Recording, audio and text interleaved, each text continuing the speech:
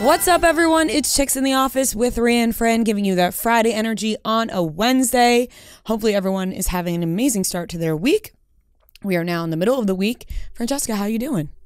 Miss you. I'm great. I know I miss you guys, but I, I really don't want to come back to New York. Oh, just- okay. So you don't miss us that much. It's I mean, it's just so much better here. It's just so much better. I can only imagine. I'm sure it is. Lucky bitch. Yeah, yeah. I mean, it yeah.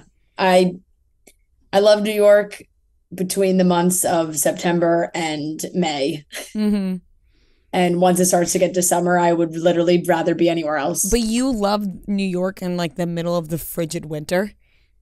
Yeah, I'm I'm fine with New York in the winter. Like I don't I don't I mean I don't love it, but I don't Mhm. like hate it where I feel like I need to flee.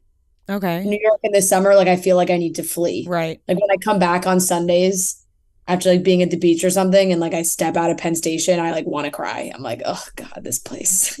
Yeah, it's just like hot and humid with all the buildings Just and like- such. Yeah, exactly. With all that There's- architecture running around.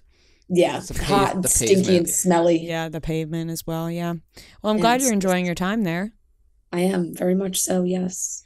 How are you Um, guys doing? I'm I'm pretty dandy. I'm pretty damn dandy. I'm not gonna lie. Your hair looks fantastic. Thanks. I got a blowout today. Um, It looks like I don't I don't maybe it's just like the way I'm looking at you, but it just looks so long and voluptuous. oh my god, thank you. Oh my god, I'm getting excited hearing those words. Uh, I mean, it's like kind of curled. I feel like if it was straight, it'd be like crazy long. I know I haven't straight like actually straightened my hair in a long time, and I feel like it's way. And I just got it cut. I feel like it's way longer than I than I anticipate. Um, Yeah, like um, you're you you're very got a nice blowout, and you're it's you're at like nipple past nipple Mhm. length there. I am at nipple length with my hair.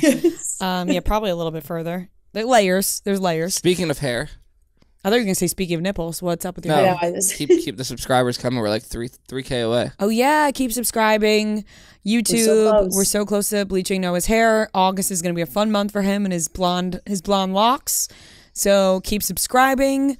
Um, what was I gonna say?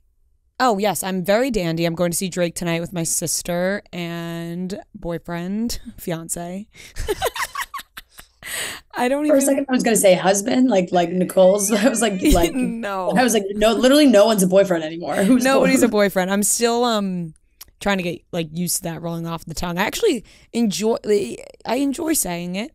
Um It is fun. it's fun, but like for people do you notice that for people that you know, right? Like I don't even know how to describe it. It's like for people who already know you and then you're like, "Oh, my fiance," which I guess you're never really referring, you're always referring to by their name. But then Yes. it's like, "Okay, relax." Yeah, yeah, yeah. yeah. uh, but yeah, we're going to see Drake tonight. Very, very exciting. And 21 Savage, which I'm very excited about. I love 21 Savage. I just feel like nobody's posting anything about 21 Savage being at this concert. Like it's a Drake and 21 Savage concert. But it's more Drake. no, but it's Drake and then it's 21 Savage and then it's Drake and 21 Savage together. So I was gonna say, what's the setup of the they of are concert? they are splitting the concert. The like it, it's Drake 21 and then 21 and Drake together.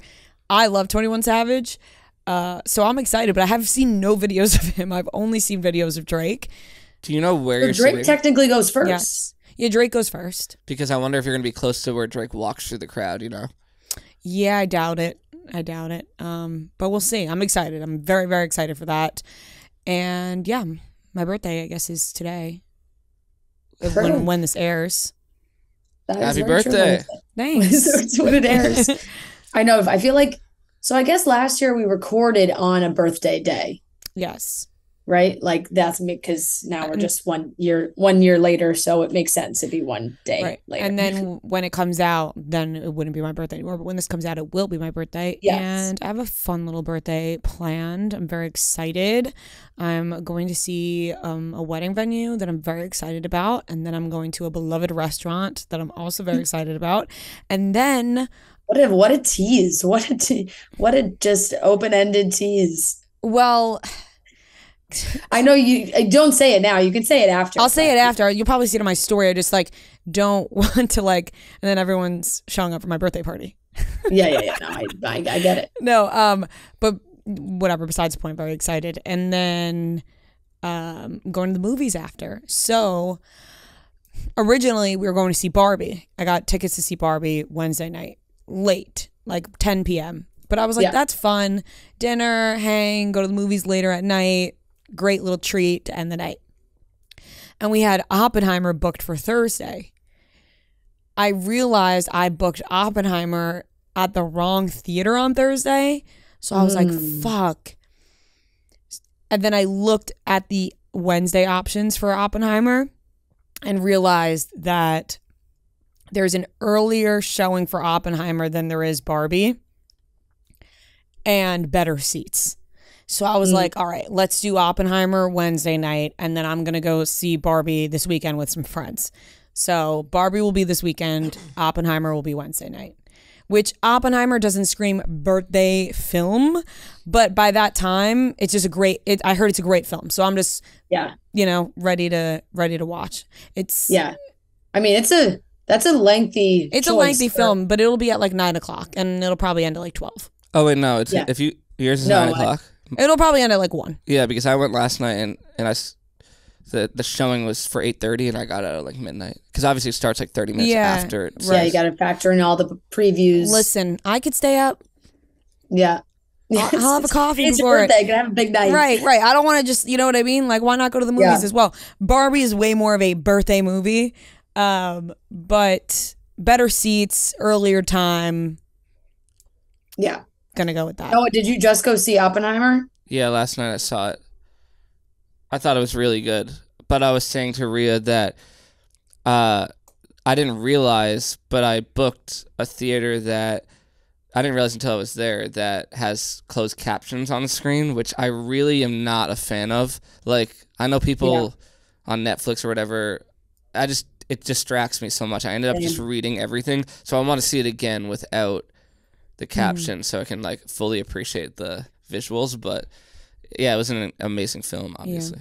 I feel that I'm. I would not enjoy subtitles at the movie theater, but I am a huge subtitles girl at home. Like when I'm watching TV at night, subtitles. Sometimes like it's nice to put the volume low, and then if you pay attention, you can like go to sleep. You know, it's kind of like reading a book before bed, but you're just reading your TV. The seats were Honestly, nice. you're So de- very uh, very true. I feel it. I feel the exact same way. Um, what are you seeing it in IMAX, Ria? No, just regular. I've talked to some people here that they were like, it doesn't matter. yeah, honestly, mine was like regular, but it almost felt. I'm like, is this regular? Because Mm-hmm. it seemed huge. Yeah, I was talking to Robbie Fox about it, and he was like, it literally doesn't matter. Like The just go to sound is regular one. really good. Yeah, I'm also not one to be like, I need to see this in IMAX. Like, Yeah, Ria's I like only wa- 70 millimeter. yeah, I just want to watch the movie. I'm excited about it. I'm excited for Barbie too. I'm excited for both of them.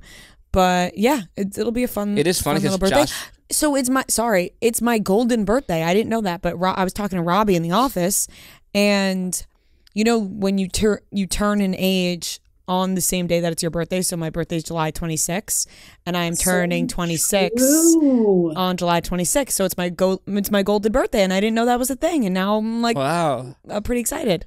I for I I I knew that was a thing, but I forgot like the term for it.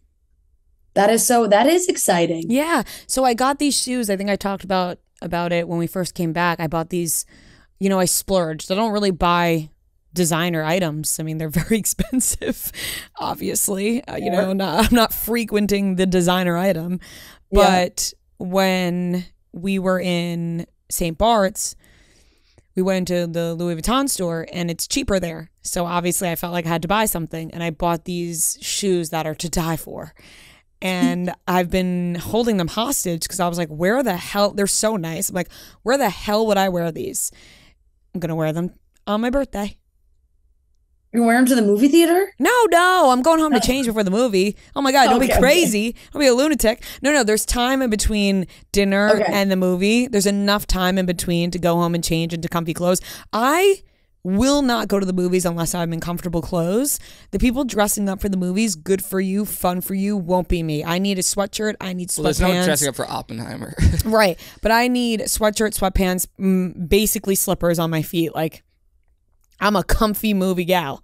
So Yeah, I'll be going home to change. But no, I'm going to wear the shoes. I'm so excited about them. I, I've been like, where am I going to wear these to? I'm going to wear them tomorrow. Why not? I, as you should. Sounds like the perfect time to wear them. I mean, you're not going to wear a pink mini dress to go see Barbie this weekend. Probably not. I, I I appreciate people who can do that and get really into things and are really enthusiastic and excited, um, living life to the fullest, as I would Yeah. say. But Barbie has really caused quite a stir. it has. I like to maximize comf- comfiness, so that's why I go to the movies and that. But yeah, Barbie As has caused quite a stir, and I would love to know your take on it. Neither of us have seen it, right? We're both Yeah. excited to see Barbie. Who I mean, who doesn't love Barbie? If you're, you know, if you grew up the time we did, or really any time. I was saying earlier that I was, I did love Barbie, and I had, you know, all Barbie different like accessories and stuff like that. But I also loved Bratz a lot. Like I feel like Bratz really took off for people my age. Um, so I really loved Bratz, but of course I loved Barbie as well. But my take on this whole outrage with the Barbie movie is like, it's just a movie. You know what I mean? Like, Yeah. you can love it, you could not like it.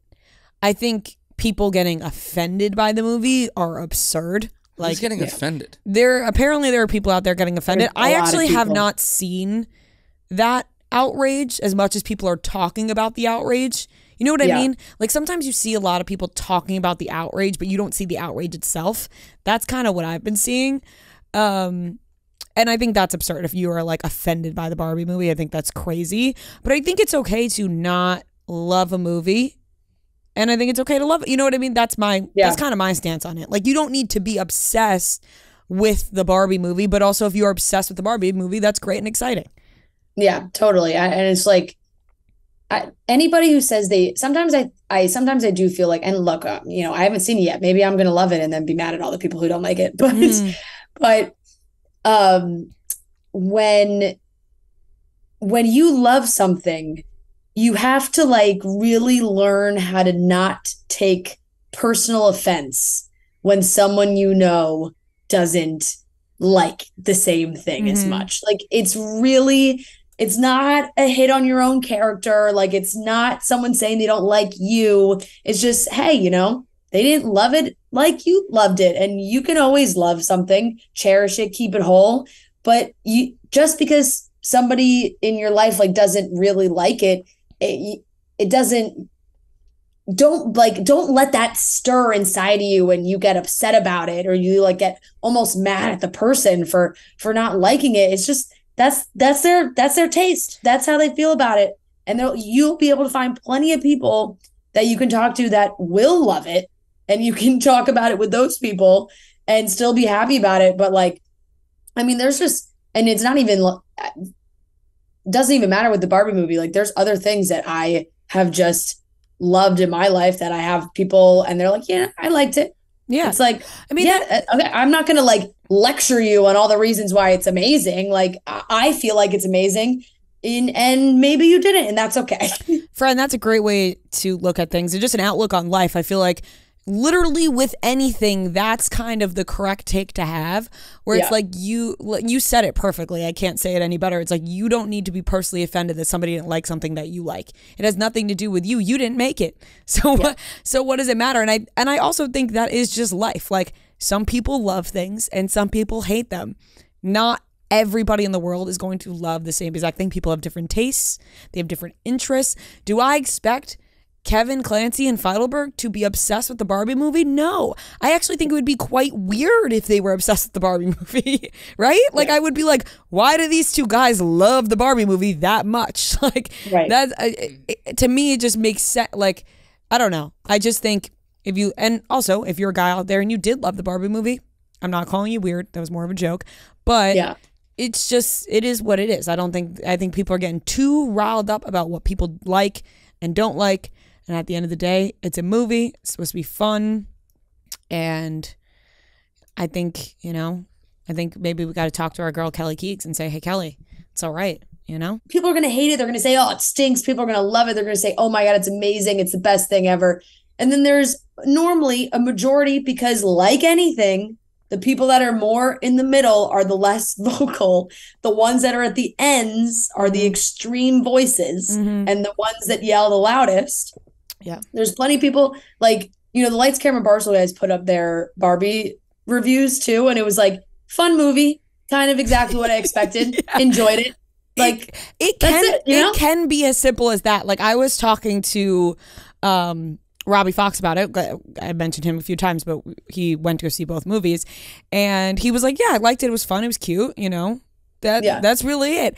And I right and you're, gonna always have people on the other side my, my sister saw it she texted me she was like that was the she's like i cried i loved it it was amazing like you know she loved every single moment in the movie it seemed which is also s- Yeah. totally fair right, and I saw uh, Grace O'Malley Yes. and Bri talked about it on their on uh, Plan Bri, and Grace said she didn't like the movie.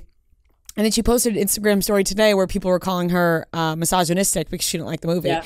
And I'm like, that we just don't have to go that. You know what I mean? We just don't have to go that far. Like if yeah if Grace didn't love the movie, she didn't love the movie.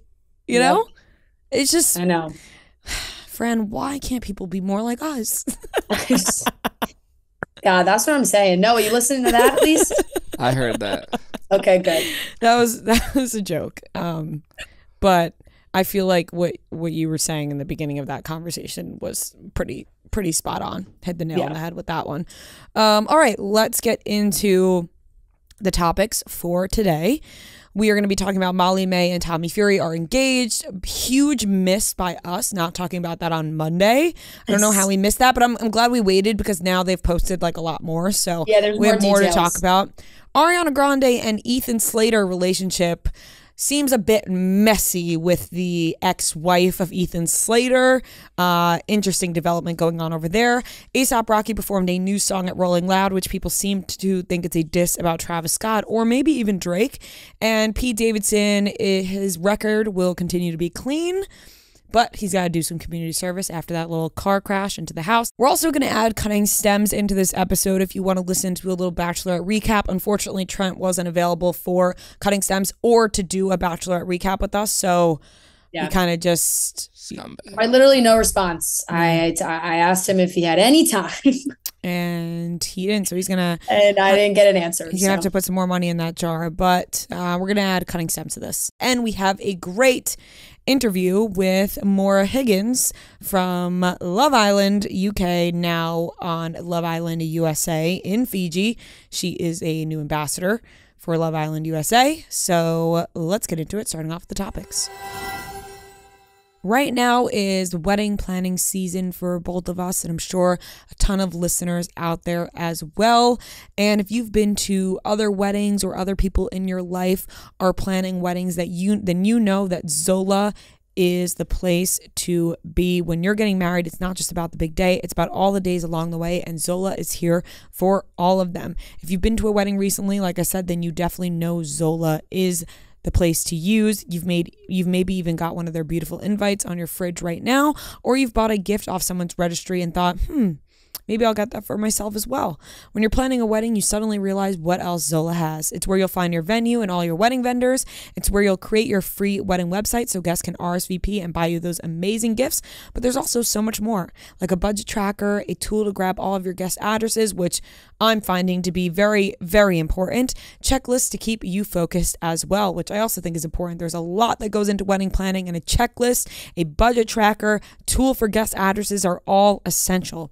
You can also turn to Team Z, Zola's free expert advisors, to answer any questions you may have along the way, or the Zola community, full of other engaged couples who know what you're going through. So start planning at Zola.com. That's Z O L A.com. All right, let's get into the topics. Let's start off with Molly-Mae and Tommy Fury. Huge congratulations to these two. What a beautiful engagement announcement. What a beautiful video. We saw the whole thing go down. Their baby was there. Uh, Molly-Mae just released details about how it went down. There were, uh, she thought they were going to an event together. There were fake invites. There were fake emails. Uh, it was a whole surprise for her. And I loved every second of it. Thought it was beautiful. Some people may have thought that they were engaged or married already because they did have a baby, but that is not the case. They are now engaged and so cute. I'm so happy for them. so happy for them. I feel like she just like everything she shared was just so sweet and it really seemed like Tommy considered everything. You know, she said flew out her her glam team, the videographer, the whole thing. They had the artist playing the song that they've used like for a bunch of their announcements slash during their end scene in Love Island during their you know like finale moments.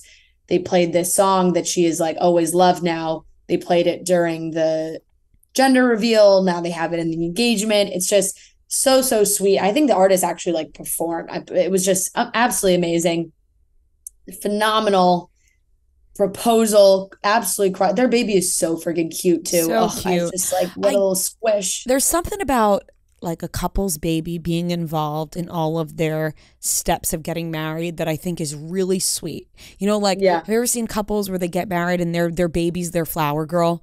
I'm like Yeah. that that is so adorable to have that. And I know Joel Embiid got married over the weekend, um, and his son is like right behind, Mhm. right behind them, in between the picture of them coming out of the church. It's just so cute. they're very, very, very sweet. But and, and Molly also posted that clip of where on her season she was like, "Just call me Molly Fury," like I as a joke. But now obviously it's so real. Molly Fury is such a sick name, Imagine having such a sick name like that.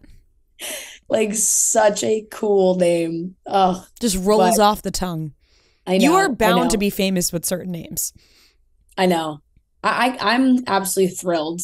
Yeah, I'm for, so happy for them. Maybe one of the biggest good for them's we've we we could have. Truly, I, I, I like.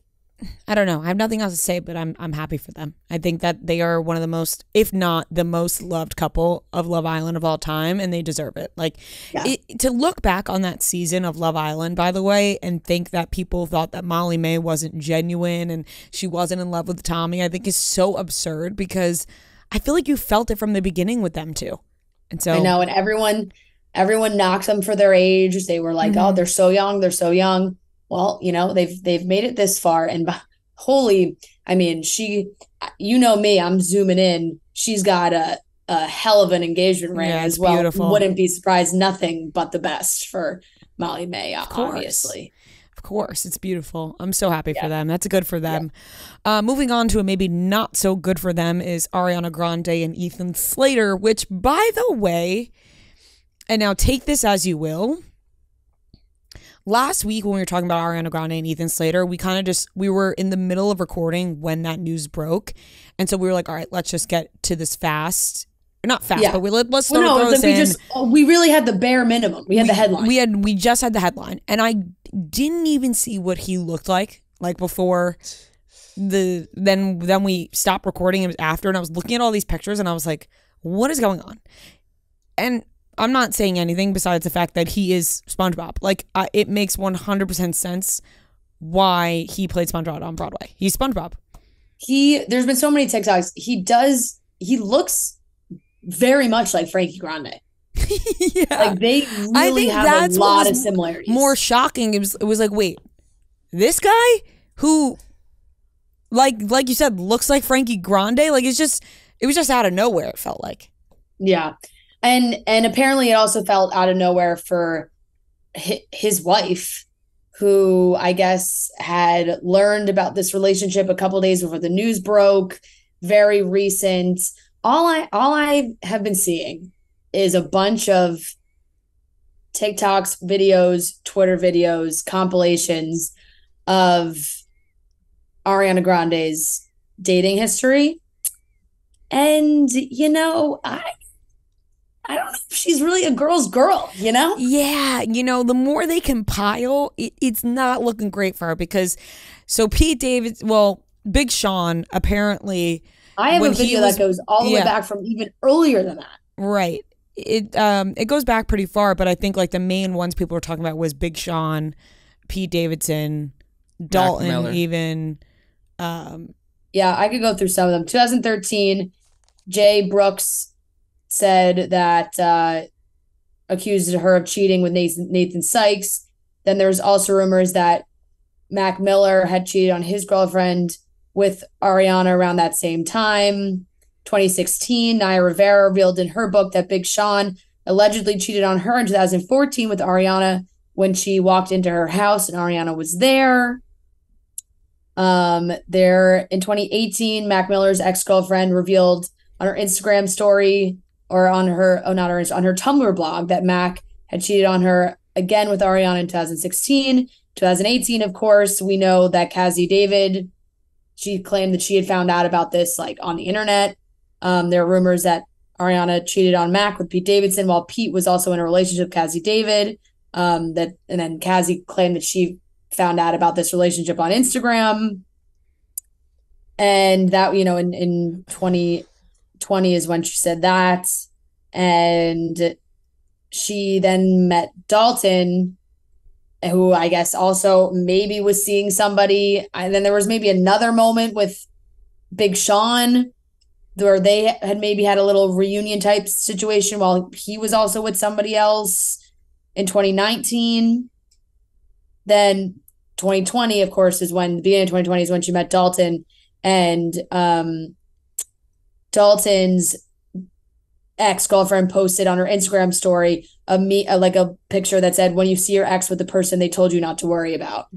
Mm. Um, and now here we are in July of 2023, where it was announced that Ariana and Dalton are getting a divorce, and that Ethan Slater and his wife are separating, and that all happened in the one week. And now we have just seen multiple stories um, about his wife Lily not knowing or not n- being told about this, but right before the story Mhm. broke. I mean, Ariana Grande literally wrote a song called "Break Up with Your I was Girlfriend" on just to board. say that. So, you know, people are acting surprised, but she wrote Right. it in a song. You know? and I do remember when people point. when that song was released in the album, people were like the like Ariana Grande's music is just great, so everyone was like, mm, loving this song. But then everyone was like, wait a second, Ariana, this isn't a great message. Maybe you shouldn't put that out there.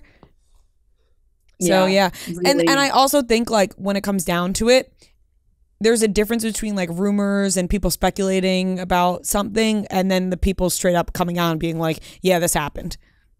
Yeah, and you know, I think everyone historically has kind of given her the benefit of the doubt, and now it's just like it just keeps like the Right. rumors just keep circulating. Where it's like, okay, you know, you there's not this many rumors about you uh cheating unless something happened at least one time. Right. Especially because this is a wife. You know what I mean? Like, of course, girlfriend, serious.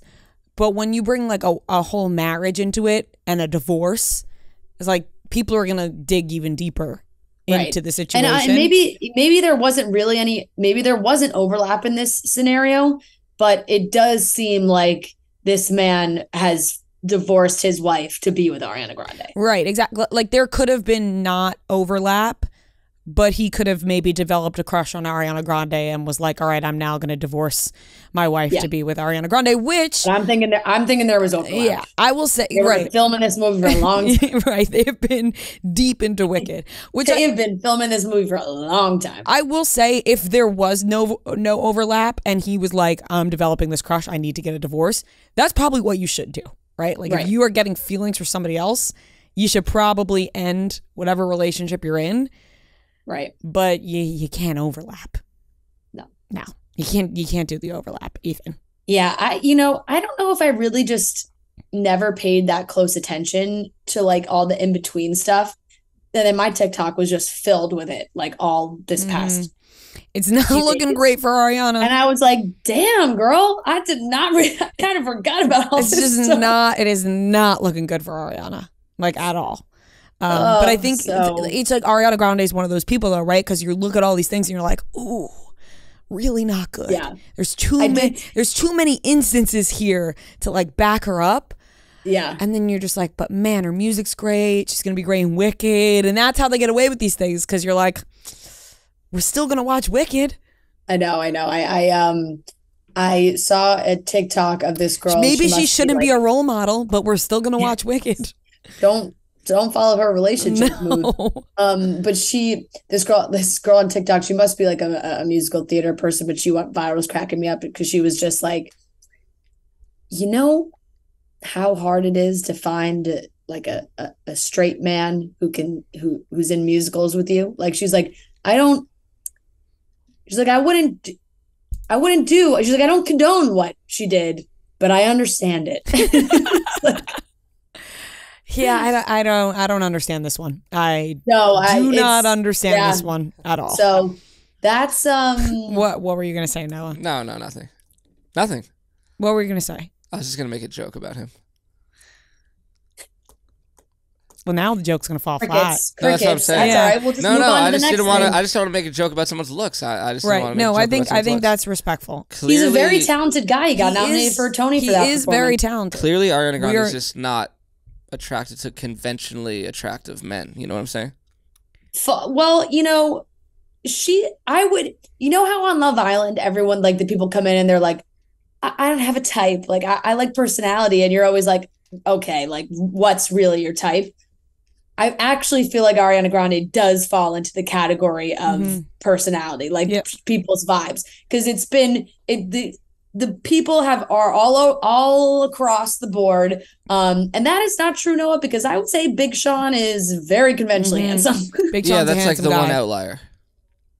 I mean, yeah. Dalton Dalton was uh, uh, attractive. I feel like think, otherwise like, it's like kind of like skinny white guys with tattoos.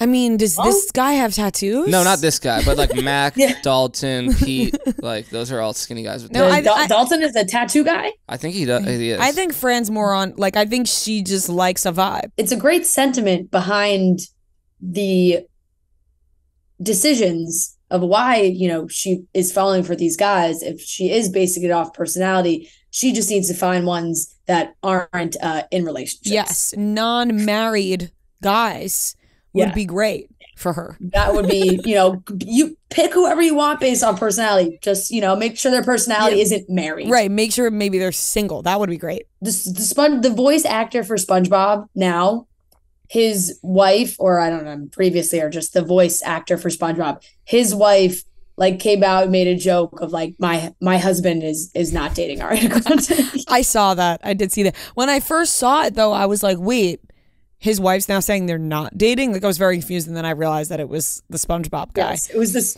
SpongeBob voice actor. Um, but I think Ariana Grande's team is working overtime on like trying to make this seem like it wasn't like a big deal. Right. Like I mean, because is his wife. amicable splits on all accounts. I will say that his wife isn't being like, yeah, he cheated on me with Ariana Grande. no. She isn't saying that, but she is saying like, mm, this is interesting. Anyways, let's just get that fucking Wicked movie done. How about it? All right, kids. Um, all right, moving on. I guess we could talk about Pete Davidson real quick because it just feels on theme. Pete Davidson's record is clean from that car crash where he crashed into another person's home, but he does have to complete community service. He has to attend driving classes, and I think he has to go to a morgue.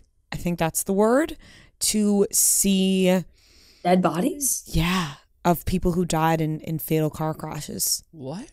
Jesus, is that is that like a thing that they do now? I'm not Pete 100 Davidson, I mean, best case scenario for Pete Davidson here. Yeah, he has to 50 hours of community service. He has to complete 12 hours of traffic school.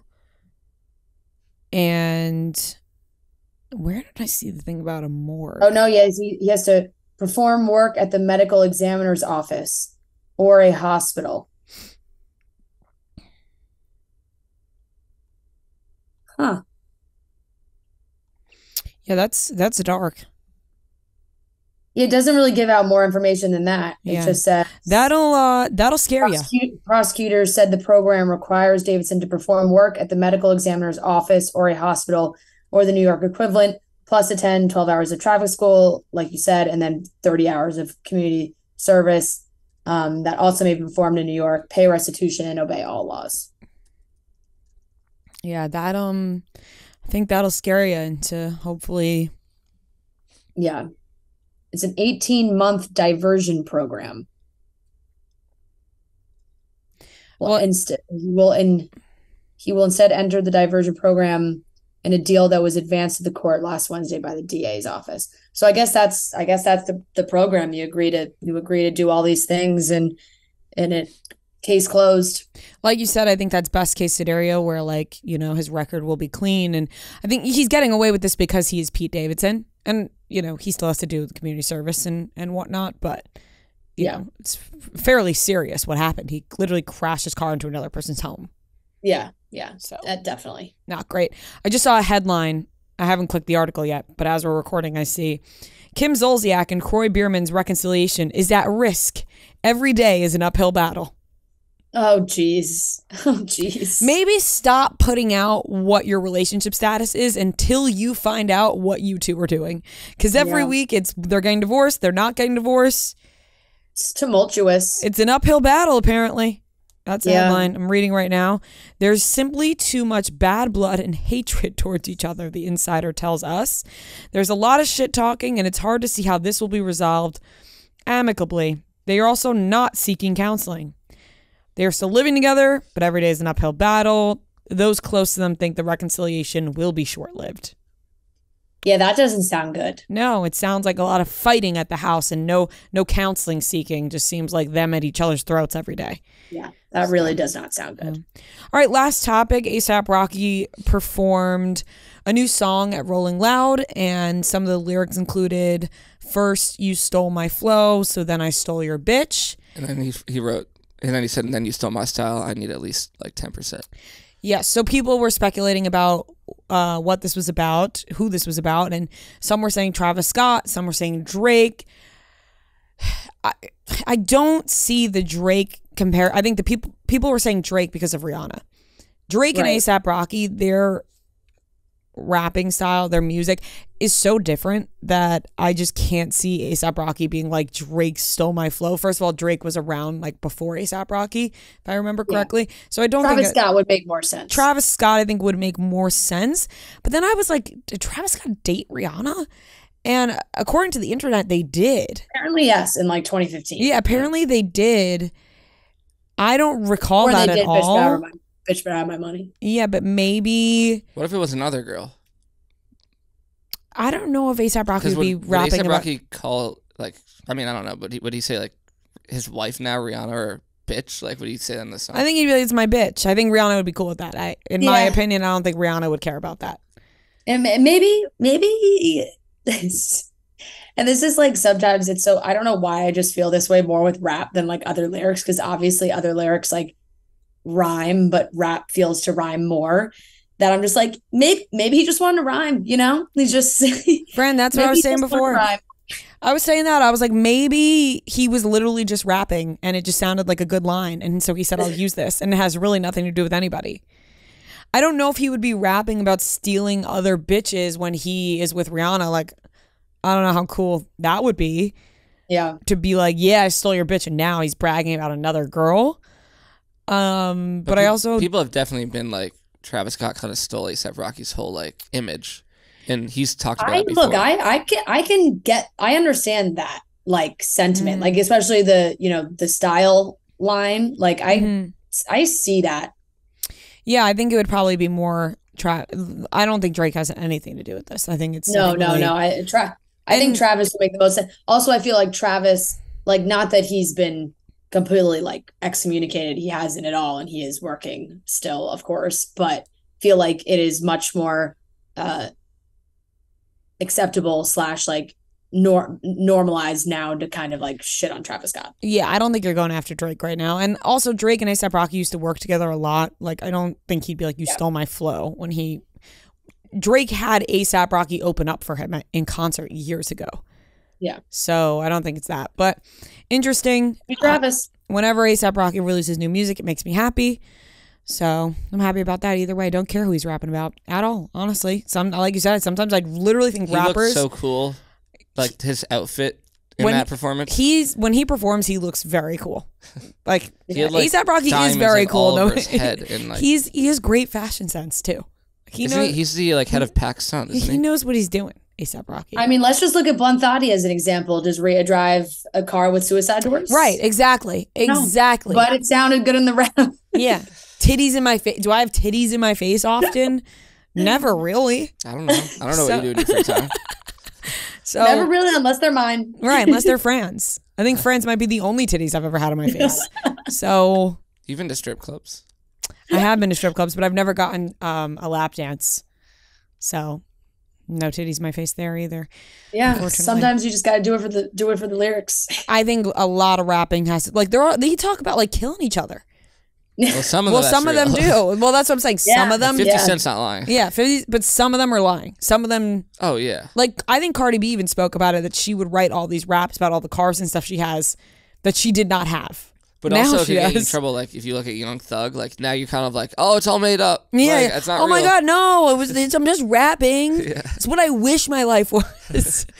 um, yeah. All right. Well, that wraps up the topics, and we'll get into the interview.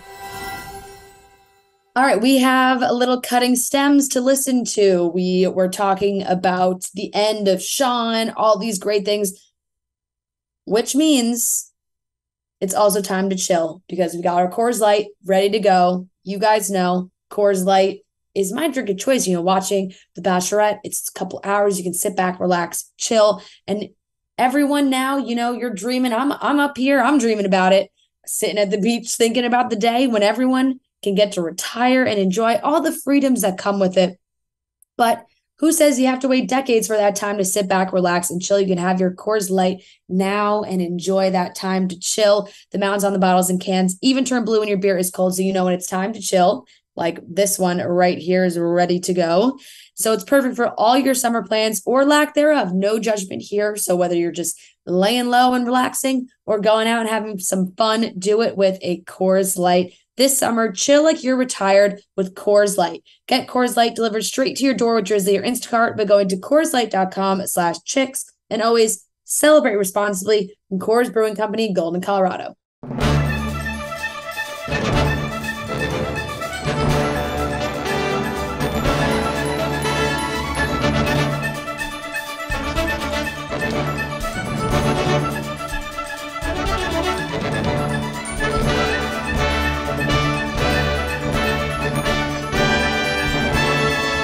Welcome back, everyone, to another edition of Cutting Stems, the Bachelorette's after show. We have Ria, we have Kelly, we have myself, Fran, no Trent, sadly, who is quite literally the star of the show, and he could not be more unavailable. We don't have him to talk with at all. Everyone's probably so excited. They just watched Trent's big moments and they're hoping to hear his thoughts. Uh, he's not here. That is, it's it's truly so upsetting because it's like the one part of the show I want to talk about with Trent, and we can't talk about it. Everyone's like, "Oh my God, Trent!" and yet we don't have him. But he did, he did release a statement regarding his appearance on the show, and his official statement was, "I was ready." So take that as you will, whatever that means to you. He was ready. He was ready to go. you know, it's sad because we all watched the episode, we all saw what happened. I was ready to go nuclear nuclear on on Sean. Like Oh, I yeah. was re- like if Sean was the reason that that pull didn't happen, I was ready to just lay into him. Like I was like, "Oh my god, if this guy sends himself home and like that his luggage doesn't get pulled because he's sending himself home, like something like that, I was gonna freak out. But at the end of the day, it was Charity's decision. Um, and you know, I I I respect Charity. I think she's been a great bachelorette, so I can't be that upset at Charity. Agreed. I think I think Charity has been a great bachelorette as well, but I was kind of pissed at her in this moment just because we would have gotten Trent pulling Sean's luggage because at the end of the day, she didn't feel the connection with Sean and sent him home, but yet no luggage pull. So I I, was a little pissed at Charity, although Mhm. she's been great, so I'm not going to hold it against her. And we ended up getting a hilarious scene from Trent. So. Yeah. Agreed. And I do think uh I know we'll we'll get into it in a minute, but obviously Sean uh was and Tanner were on a two on one date, something that we haven't seen in a while. I feel two on one dates are are one of my personal favorites because there's always fireworks, there's always somebody's mad, somebody's feeling left out, whatever. And I think though that uh because Charity is it, she really has her head on straight and she's really thinking a lot about this. She's not trying to hurt people's feelings. She's trying to find love without leaving too much destruction in her in her path.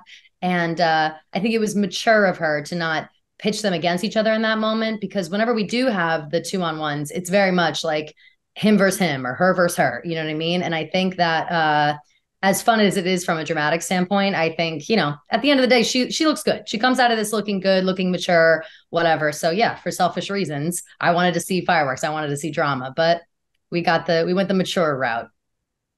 She definitely did. She's handled everything with a lot of maturity, honestly. But we can start um, from the beginning and talk about these dates. They're in New Orleans, having a fun time. Joey gets the first one on one date, which of course is a hot topic because he's already had one. So now we're already starting to repeat when multiple people haven't had one on ones at all, which says a lot about where Charity's head is at. Like, totally. Last week, we were talking with Joe and Serena, and they were both kind of like, it's been obvious who her top guys have been from the beginning. Like, she's not that great at hiding it. I think we could all kind of tell the direction she was going in. So she takes Joey on another date, and I really have no commentary besides this was start to finish a perfect date. Like mm-hmm. perfect. They Joey knocked it out of the park. They had fun, they laughed, and then when they sat down at dinner, it was serious enough where I felt like Joey really was open to that conversation. It's a very serious, important conversation for charity. And he just he nailed it.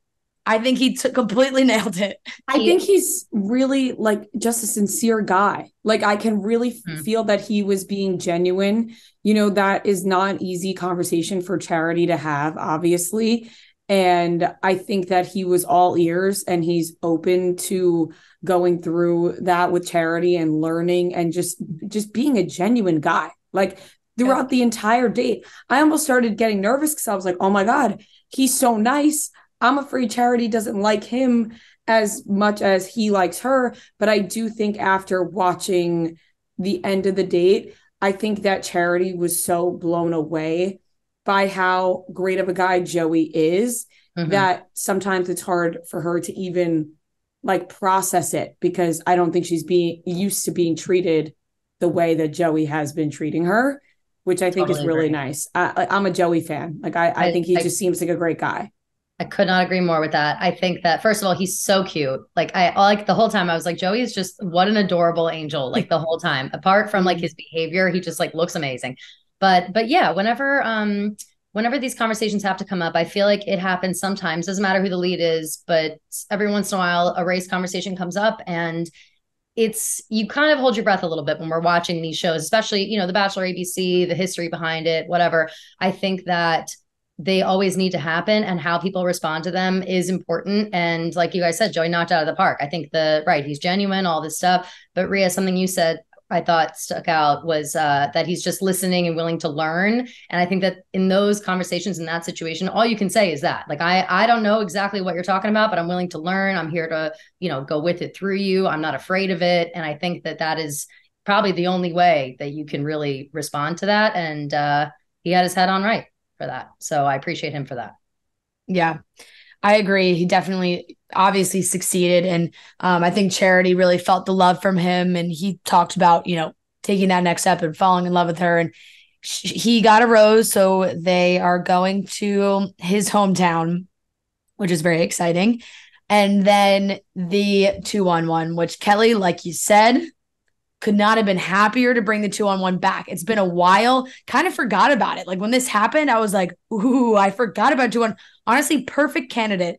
I don't know if producers cash on just with this in mind, being like, you know what, this is our guy for to bring back the two on one. Yep. And mm-hmm. he went on the two on with Tanner, which also was perfect because Tanner is just like a solid brick wall. You know, he's yeah. not being knocked over I, he doesn't care how annoying Sean gets. Like he's like trusting himself and his relationship with Charity, and he's just kind of like, "Hey, what can you do? It's a two on one." and Sean's like, you know, was throwing a fit about it a little bit. And um, I will say, like, the date went very well. They went on just a, a trip through the bayou. They were checking out all the the gators. Um, they had a you know a character and a half with the with uh. the captain who was who was cracking me up. I mean, when he at the end when he was like, I mean, if it doesn't work out with any of them, like I'm available.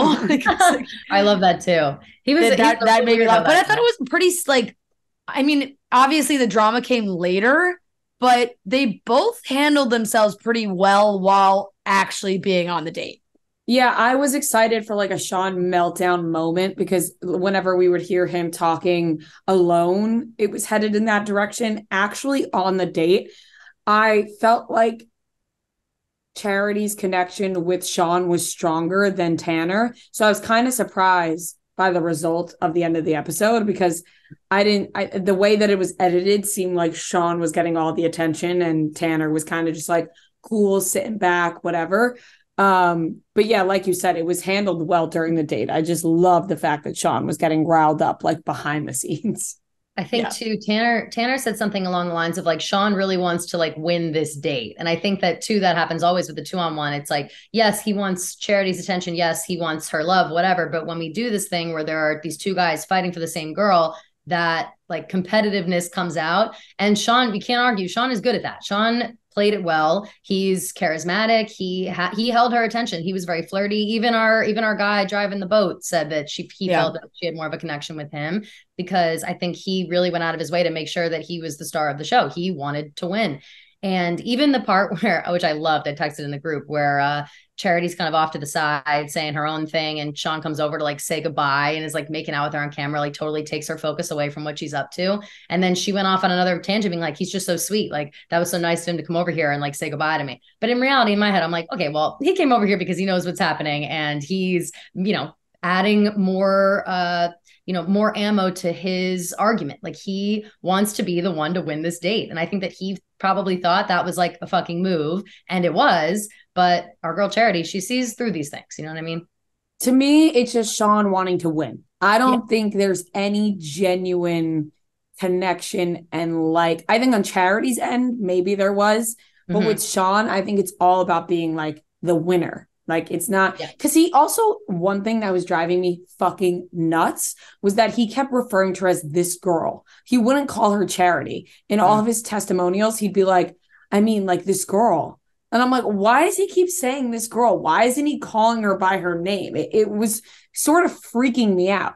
He's like, I've shown this girl every like as if you know she's a stranger. I mean, kind of technically they are strangers, but you, you get what I'm saying? Like right, like just, he doesn't want to he doesn't want to personify her or something. Like he's like, just again her name, doesn't matter who charity. like to, right. Doesn't matter who name. Is, just wants to win. Yes. Yeah, mm-hmm. like he was like this this bachelorette. Yeah, yeah, yeah. Like I've I've done all my moves on this bachelorette. Why is he yeah. falling for it? It's like yeah, it's I don't like, know because she's a real person and right. she's the bullshit probably. Mm-hmm my dogs are barking out of control if you guys want to c- continue the conversation about oh. Sean. okay, I can no, I can keep going. I just yeah. feel like he just has this like you said, he almost doesn't want to make it personal because 100%. Yeah. Well, I'm sure it makes the it will make the rejection sting less if it's less personal. I think mm-hmm. it's more of a, a game to him 100%. rather than like I really like this person. I forgot who said it to One of the guys, I think this was after the two on one, it was mm-hmm. maybe when they were getting another group date. And one of the guys says, like, Sean just like really, he really likes charity. And I was like, are he? they not reading through this? Like, no, he does not. He just wants to beat you guys. Mm-hmm. I do, do you think, think he it, do you think he just was like saying because I almost like got confused as it was going later in and the more he talked about it, like he kept saying, I feel like she's I could see us getting married. I could see a wedding. I could see her being the mother of my kids. Like kind of crazy to say that stuff if you don't mean it. True, true. But at, at yes. the same time, it's like you, you know, you say what you got to say. But I also, I wonder if he, if, you know, he fell victim, he drank the juice. You know what I mean? Like he, he knows what he has to say. He knows how he has to do, you know, all this stuff. And I think that he, uh, ultimately, yes, is just like wanting to win. And I think too, it maybe was a little bit of uh, of an ego bruise for him. Like, why why isn't I'm I'm pulling out all my usual moves? Like I said, why isn't she falling all over me? And why is everybody else like also getting attention? Like I I feel like I've done everything I've needed to do to secure her attention and her love, and she's not accepting it. And I think that like I mean, that happens all the time. Like you like somebody a lot and you think that you're giving them everything and they're just like not giving it back and you get frustrated. Like, what the fuck? Like I I've done everything. What the hell? But then sometimes at that point it turns into like, all right, well, you know, am I am I giving everything or is this just, you know, are we not on the same page? Like is just because I'm giving what I'm giving doesn't mean that it necessarily has to be accepted, you know? Yeah, I I think that was another part of it where when Sean eventually sat down with Charity and was sent home, she was saying like I just don't think that we can get there. And he was like but I feel it though. Like what do you mean? right it's like sorry Like- I don't like at that of the killed me. Like I think he kept he went walked in to talk to Charity thinking that he was like gonna make a lot of good points and she was like gonna g- give him a ro- I feel like he thought he was gonna come in there and it was gonna go so well because he came in like with that vibe of like I just want more like I just want more time with you like that's how much I like you. And Yeah. and she was just kind of like yeah I mean I'm just further along in this process with other guys. And and I feel like then he started to backtrack so hard like yeah. he's like no no, no uh, like but don't you feel like if we just had that one-on-one time then we could get there and she's like no no I don't think so no Honestly, props to charity though, because it must be hard to be in a situation. And even I feel like Kelly, you were referring to like situations in real life when Mhm. somebody is like professing their love for you and oh, but I feel this and I feel that. And sometimes people feel bad being like, mm, I don't feel that way. And Right. you know, like at least charity was like, listen, like I just don't think we're gonna get there. Yeah. And instead of keeping him around and stringing him along, she was like, it's just, it's just not going to work. I will say though, it is crazy that some people didn't get a, a one-on-one and some people got multiple one-on-ones. Like I, Yeah. I understand it's probably, you know, behind the scenes charities, like I want more time with this person and whatever. I do understand the feeling of being like, this is a little unfair. This person's getting now multiple one-on-ones and we haven't even had the shot to get Yeah. a one-on-one. But when Uh-huh. you know, you know, yeah in that Yeah. situation, I feel like, and I think that's what's happening with Charity. She's like, all right, I know it's Yeah. not going to work with this one. the only person that I felt bad for in that situation was Tanner because when they did have their breakup and she sent him home, that one really did feel like a time thing. Like that one really felt like maybe with a little bit more time that could have turned into something really great. feel like with Sean, she probably just low key knew that it just was not gonna work between them Mhm. but with Tanner, I felt like you know they just didn't really have those those moments. But uh, then again, she clearly knows. I kind of like the move of like, hey, I'm giving these two guys second one-on-one dates because I feel like we have a better connection. Yeah. One of my, and then of course, like they did that. They did the two-on-one. She didn't give out a rose. And then they did another uh uh group date as well as Dotun getting a second one on one. So her date with Dotun, I think, also went extremely well. Mhm. Um, they're kind of in that. It feels like they're in that too good to be true vibe. Like they have that conversation where he was like, you know, my my heart is telling me that yes, like go for it. Like my head saying like I, it, fairy tales aren't real like this. Like could it really work?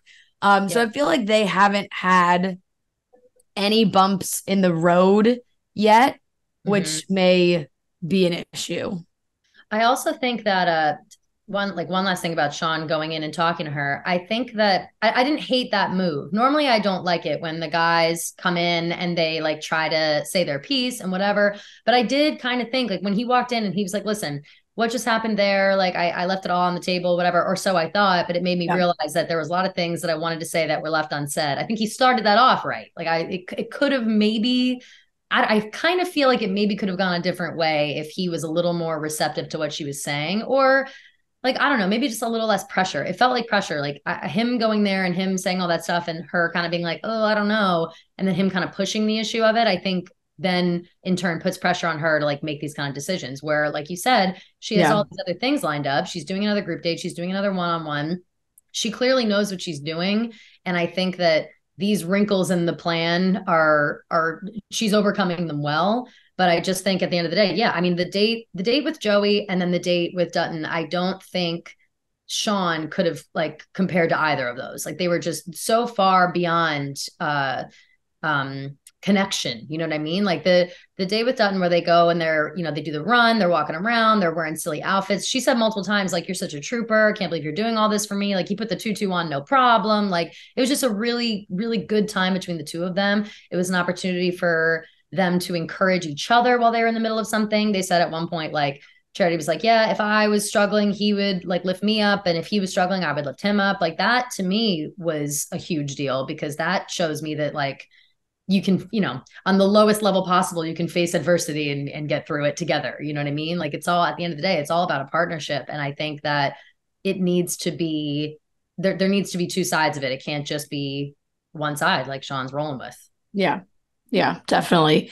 He he pushed it, which was fair Yeah. because I do feel like you know multiple times where charity's like I'm not ready, I'm not ready, I'm not ready can be Mhm. tough Mhm. for like you know you don't you don't know how that's you just like really want that rose. So he pushed it and you know kind of backfired, but at the end of the day, I think he was going to be sent home anyway. So she had another she had another really good date with um Dotun and then she did a group date to end it with Aaron and Xavier and Tanner because at that point Sean was gone. Mhm. Aaron Sneaky was like my favorite part of this episode for just funny sound bites of this guy was just dying to get a date in New Orleans. Like he's like, Yeah. this is my city. This is the city that made me a man. Like the whole thing. Like I almost I, I was actually laughing so hard when Don came back from the date and he was like, yeah, we like uh ran in this marathon, like in this race thing. And Aaron was like, oh, the fucking sun. Like he was like, the Sunfest race, like, like whatever the hell the name of the race was. Like Yeah. he was like, oh, like knew exactly what the race was because he's a big New Orleans guy. Yeah, yeah. So it was just like they really hammered home that this guy was dying for a fucking New Orleans date. Then they didn't didn't give him didn't give him one. They just had it had another group date, which obviously still went well for him. Um, and Charity has mentioned multiple times that she is can be indecisive. Mhm. And now it feels like that is coming into play as we come down to the end a little bit. She obviously is still making decisions, but the way she is delaying rose ceremonies and giving herself more time, not a bad thing. Like she's definitely thoroughly thinking about it, which is good. But you can tell there's times when I think flip of a coin, she could be going either way, or flip of a coin, like she could give the rose out in the moment or not. Like Aaron getting that rose and then being like, sorry guys, I need more time to decide between Tanner and and Xavier, which like that is the sentiment behind that is nice, but at the end of the day, like you're not going to hometowns with Tanner. We all know that. You haven't had a single moment of alone time with this man. You're not going to meet his family. Just like rip the band-aid. Yeah. Yeah. It's it, I, feel I feel the writings on the wall with all these men. Like we we could we could have probably at the beginning of the episode predicted how it was gonna go, generally speaking, especially uh, like I said, after those one-on-one dates were just so, so good. I um I wasn't uh surprised that Aaron got a rose, but I do think that it was a little um uh or no. I, I'm not surprised that he wasn't given a date in New Orleans if he was eventually going to get a rose because they, I mean, they're going to come back. Yeah, like they're now they're just going to come back there and do it. Right, well. I don't think his family is from there. I think he just lived in Oh. New Orleans. He said he lived in New Orleans for seven years. That's where he became. Ah. a, it's that city made him a man. I see, I see. Oh, right. Okay, I missed that part. I missed that. part. Yes. Yeah, I think okay, so then whatever. I just think that um I think that that happens a lot where maybe yes, the producers know like what what are these people's strengths and whatever, but you don't always get your strength. Like you're not even always going to be served something up on a silver platter. Like I do think that like that would be a major advantage. Like if he had a date in New Orleans, we could like show her the town. It's maybe it's not hometowns exactly, but if he feels so strongly about it, it's just kind of a leg up. And I feel like keeping it separate and having the other people be thrown into something they're unfamiliar with kind of puts them on more even ground with charity and just kind of you know it's it's just a little less of a, a less of a perk i guess Yeah. I mean, Dotun, Joey, Xavier, Aaron as our hometowns, I think we all thought that that was going to be how it went even from the beginning. I don't, Yeah. I feel like if we go back and listen to the first cutting stems, I think we picked all of those guys. i think so Um, too xavier for me i don't remember xavier like sticking out for me but i but maybe i i Yeah. just haven't uh After they had their date, I think they had their first one on one date and it was kind of like, very, Yeah. very transparent. So Yeah. we have those big moments coming up for hometowns. And then, of course, the end credit scene rolled. Trent put on his acting pants and put on put on a show. Put on a show. He It's he nailed it. He nailed it. I cried. I was so happy for him. It was great. it was amazing. I said it was almost it was almost better than him actually pulling luggage because this was like a full sketch. Like it was just so funny to see him like tying his sneakers and putting on Yeah. it like the way he like put on his glasses. and honestly, you know, we give Jesse Palmer a Giving lot up. of flack. We always are kind of, you know, give it busting Jesse Palmer's balls a little bit. But he, that was also very funny. Him on the phone, you know, it's like Trent, do not. I Yeah. repeat, do not pull luggage. Like it's just very funny. Great idea, well executed. It was a perfect way to include Trent, um, without uh, having a luggage pull. Thank God. God forbid he went on and filmed again and they didn't show him. We would have freaked out. We would have had a major problem. So I, the way they did this was good. Agreed. I'm glad they actually used it because Yeah. if they didn't, I was going to have to have a strong word with ABC yeah. because Yeah. we knew Trent did this and we were like, if they cut it again, we're going to have a problem. but they didn't, and it was great. I love that. he- I love that they keep flying him around for this, and then he's still not pulling any luggage. Like I just, like, just keep keep bringing him out. Like regardless of yes, let's see the clips. I want to see all of it, but I do love the idea of Trent like traveling around, like waiting to pull this luggage, and then it just not happening. He's gonna start getting, uh, you know, getting antsy. Like he's he's an addict. He needs a he needs a luggage pull. He how, I know it, the buildup is crazy now, I where know. like they have to keep having him until he actually pulls somebody's luggage. We're go, we're two times now that he's never that he hasn't actually pulled anybody's. That's what I'm saying. He's got to get his fix. How how is it? He's suiting up. How many times is he going to suit up? And you don't have, you don't ask you don't ask Batman and Superman to suit up and then have them not save the world. You can't have Trent put it all on, glasses, everything, and then you know take it away from him. I know.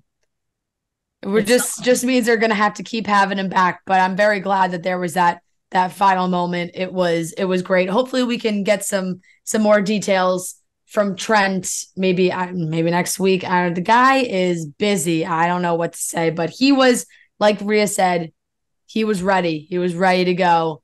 Um, Mhm. and honestly, it would have almost been too perfect. Like the script, it would have almost seemed fake and Yeah. pre-planned if Trent went there and pulled Sean's luggage. Yeah. Like in the like the Barstool world would have been like this. This is planned. Like yeah, this right. they charity had to save Sean until this moment so Trent could pull his luggage. Like it Uh-huh. almost would have been too predictable. Yes. Yeah, I it would have. Uh, it would have been what a like what a full circle moment. I think that like.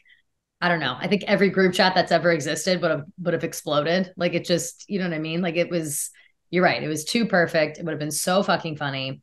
I'm curious to know, you know, I'm I'm excited for Sean to see our thoughts. I'm excited to see if he replies to my stories about it. we'll get his official statement. Yeah, But, yeah. yeah, I bet you Sean would have rather had his luggage pulled by Trent than just Oh, to be sent home that way. Right. Maybe you would feel it would feel nostalgic for him. He'd be like, well, if it's gonna be anybody, at least it's Trent. exactly. I bet he's actually probably mad that it wasn't that it wasn't him. Um Mhm. so that was that was very interesting and a great great little moment for Trent there. Thank God executed that little that little bit perfectly. It's a perfect bit as we Yep. like to call it. Perfect bit. Excellent bit. Excellent. bit. Um okay, let's cut some stems. Let's give out some roses. You want to go first, Cal? Oh, um, hmm, yes, I'll go first. Okay, so I'm gonna give my rose to uh you know what? I'm gonna give my rose this week to Charity. I don't think I've given her a rose yet.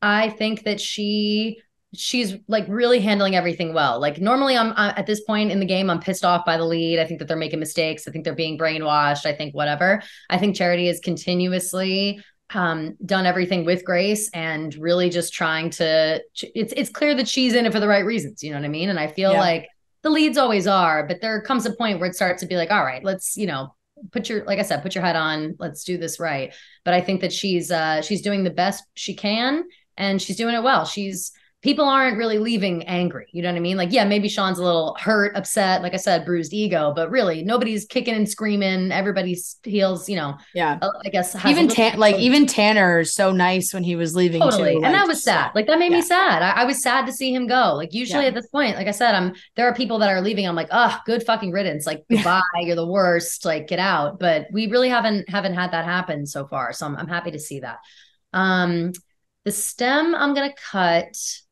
is uh you know it's hard because i i really wasn't pissed off by anybody on this on this time. Even when even when sean was going off being like i gave it my all and it's not enough like again that's normally something that i'd be like all right well relax. It's you know you're one of however many men so blah blah blah.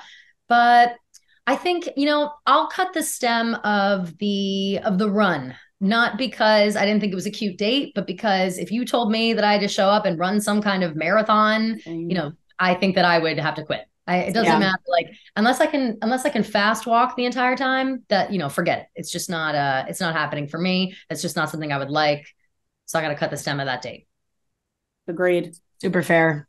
Yeah. Hmm, I'm kind of torn up over here. Um, originally I was gonna give my rose to Joey while I was watching it, oh but yeah that was before we knew Trent was at the end.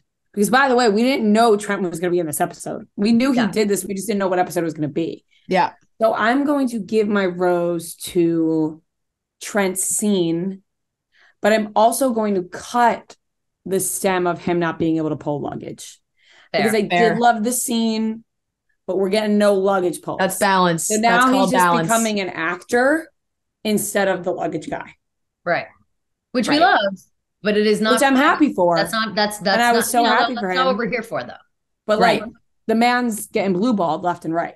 Right. Exactly. You can't you can't call yourself the luggage guy when every time you show up there's no there's no luggage. There's no luggage There's- pull. now there's been there's been more non-pulls than pulls, which Yep. is not good. Mhm. Not Yep. good. Mhm. Not good for his stats. Nope. Yeah.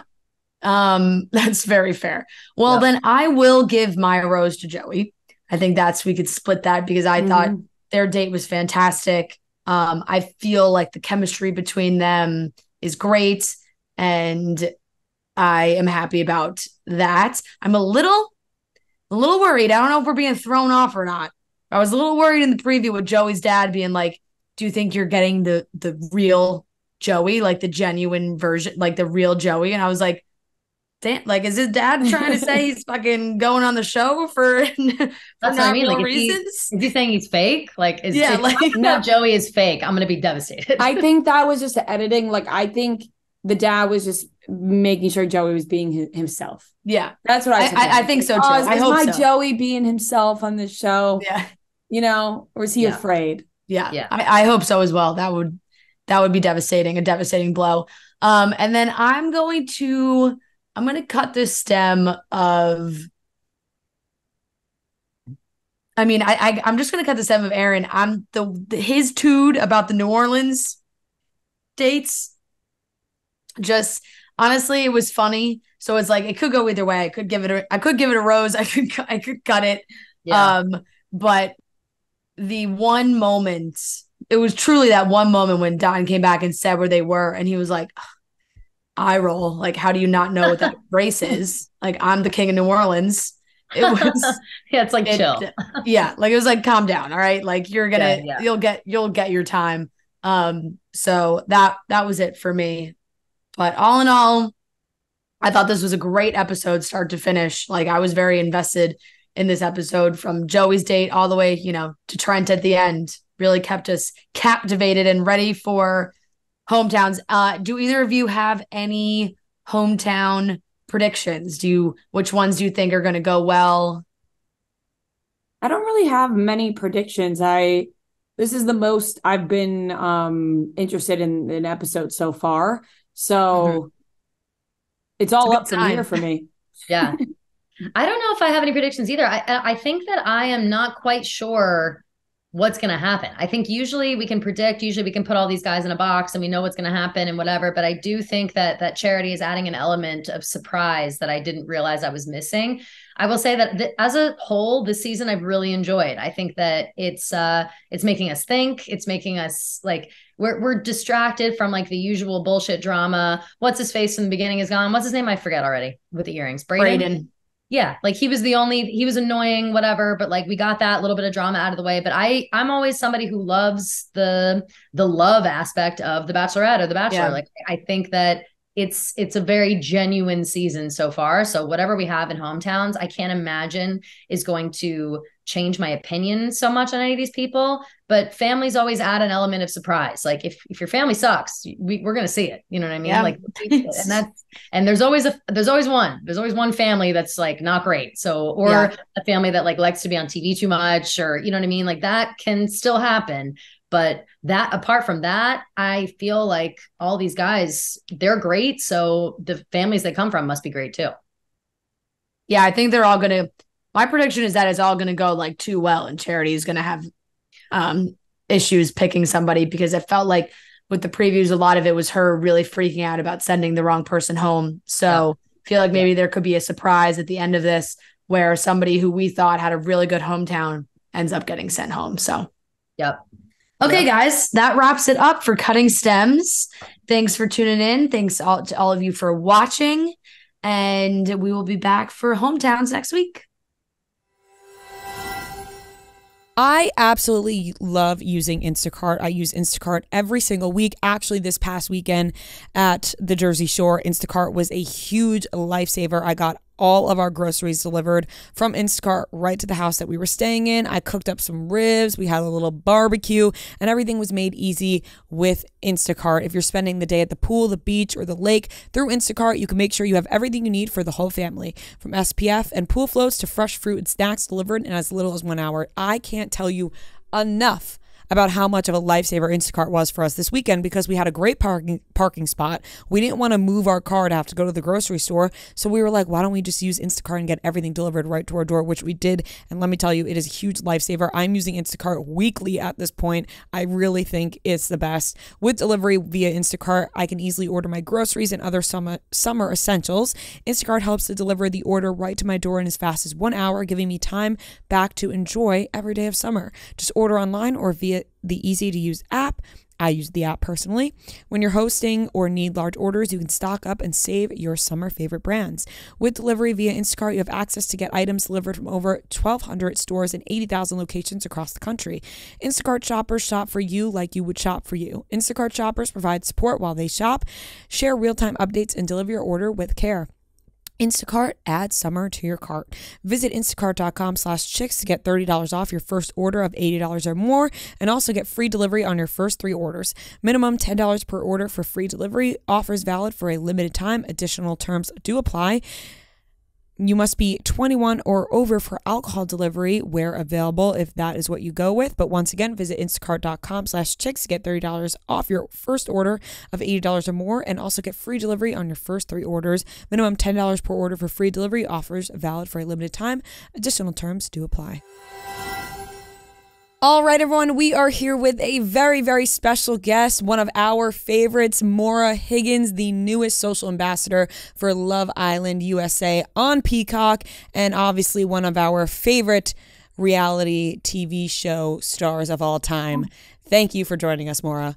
Oh, hi. Thanks for having me. We're super excited. Like Ria said, I this was when when when this was offered, it was like could not have said yes fast enough. We love Love Island. We love UK. We love USA. We um, I'm I clock a lot of Love Island hours. I also watch Australia. I'm all across the board. So I'm spending a lot of my days watching Love Island, but I having mean, it's jump into it, TV, isn't it? it is. It's the easiest Yeah. TV to watch. Yeah. having you jump onto the Love Island USA side is really cool for us because I think it also now introduces you to a whole new group of people also who may not have watched the UK version who don't watch it and Yeah. now they get to see you do this. So what was that um, initial connection like? How'd you get involved with doing USA? Do you know what? The conversation started a few months back. Um, and we had like a lot of conversations, and they were exciting conversations, and we spoke about a lot of things.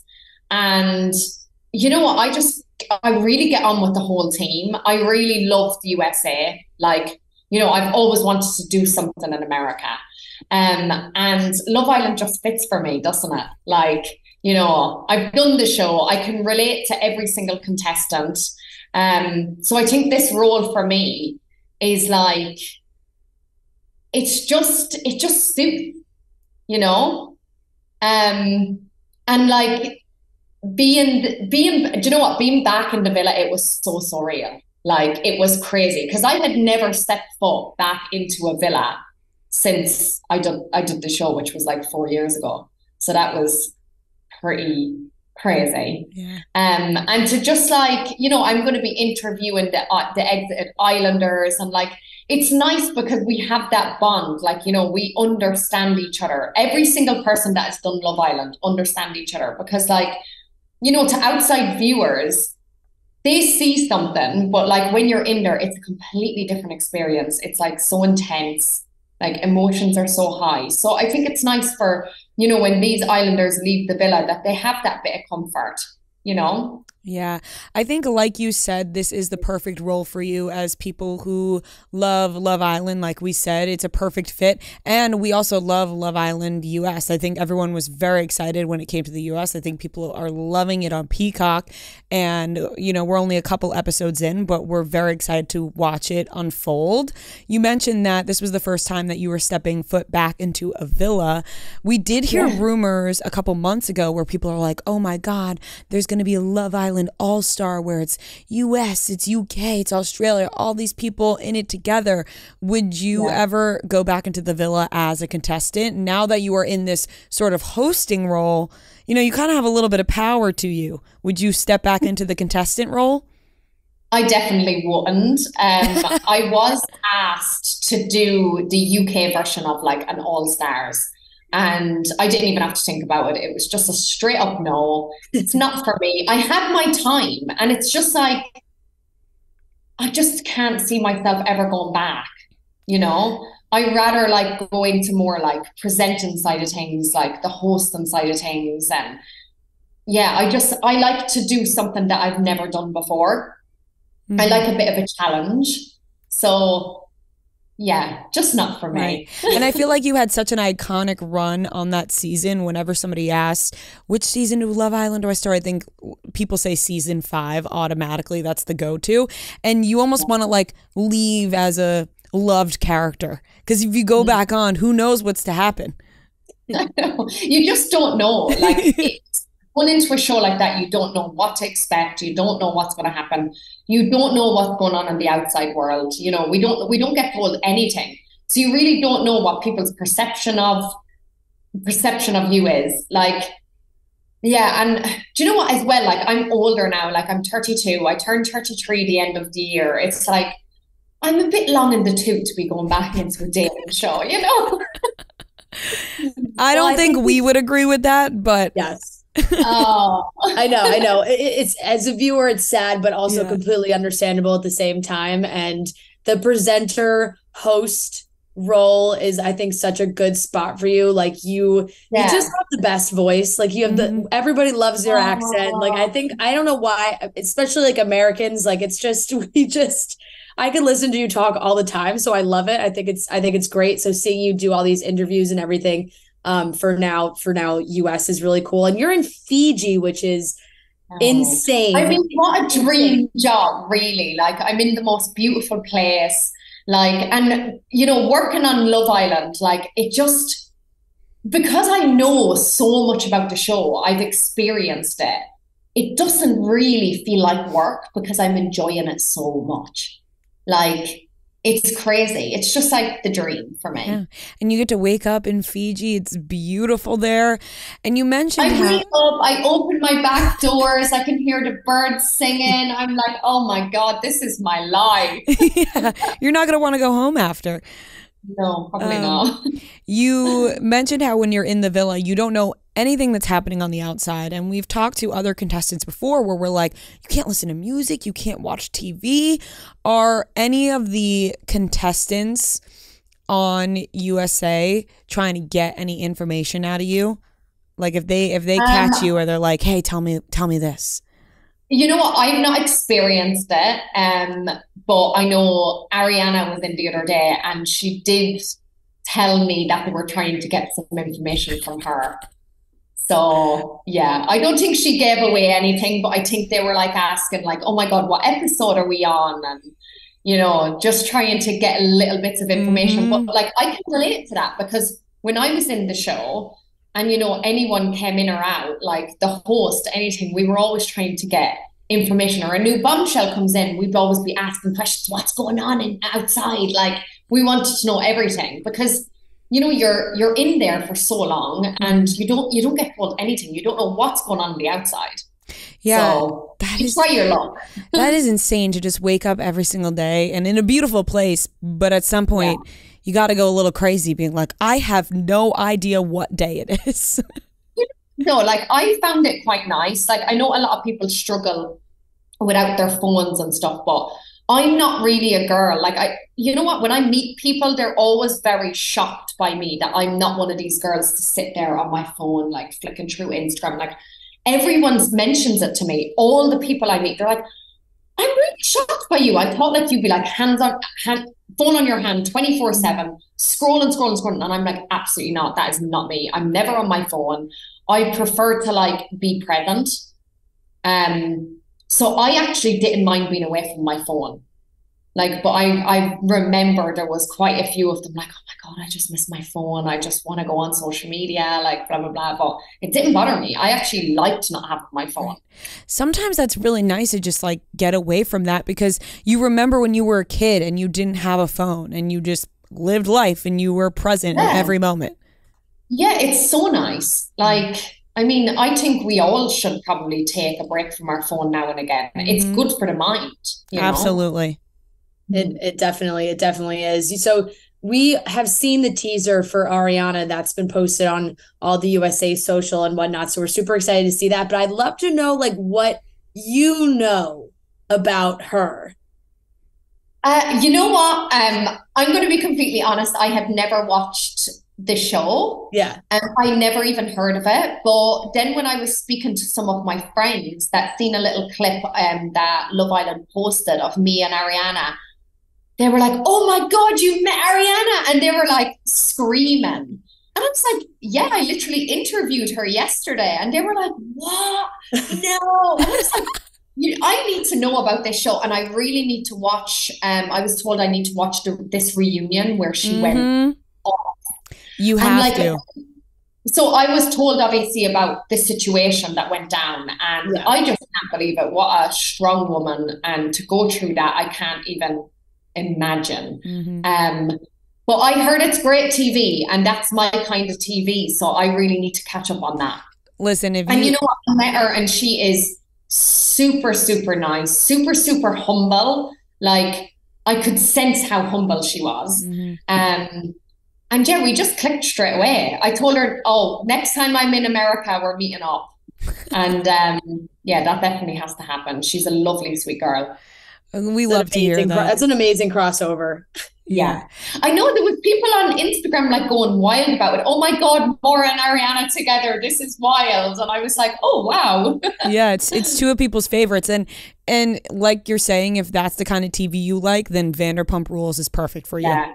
Yeah, there was people putting up. I seen a few things on Instagram last night, and it was like petition to get Maura on Vanderpumps, and I was like, "Oh my god, I don't even know what the show is." But okay, Yeah, I thi- feel like that's just too.